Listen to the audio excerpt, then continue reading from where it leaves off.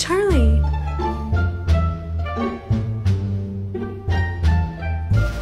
Look at this distinguished gentleman.